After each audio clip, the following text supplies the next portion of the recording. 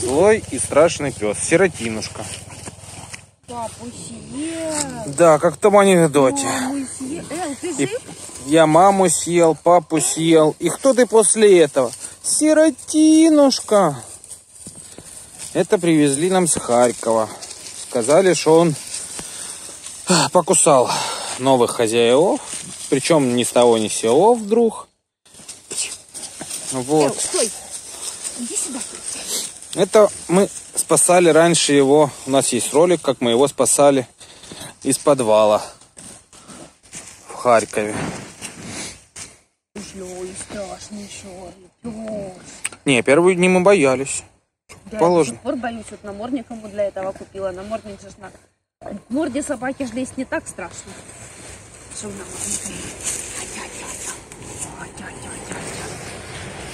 Он мне напоминает каннибал Электро в этом наморднике.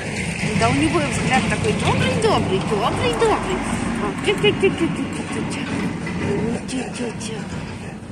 Дай лапу. Лапу дай. Эл, лапу. Нет, Элайка. Сидеть. Элла? Скажи мне впадлу. Эл. На. Ну, ошейник. Страшный пес. О, пойдем.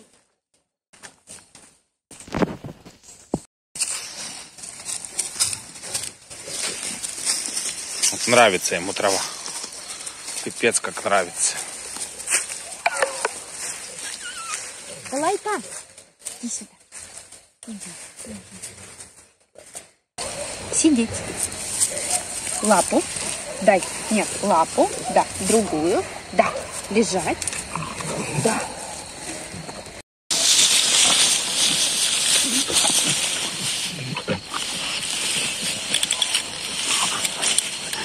Собака, украшенная травой.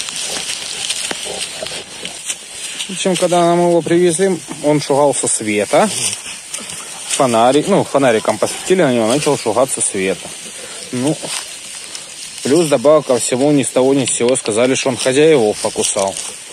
То есть по симптоматике, по походке, по глазам и по поведению вообще думали, что у него бешенство. Поэтому пока сидит на карантине.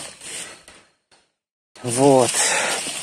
Ну, это он у нас уже третий день, да, получается?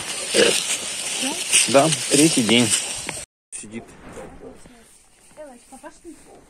Угу. Не сильно хочется. Иди сюда. Иди ко мне.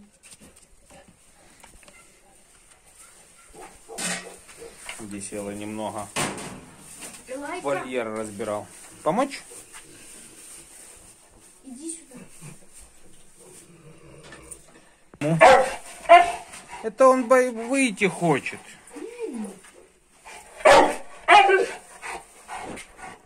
Так, Вот это ряха у тебя. Такой бы ряха метка посербать, да?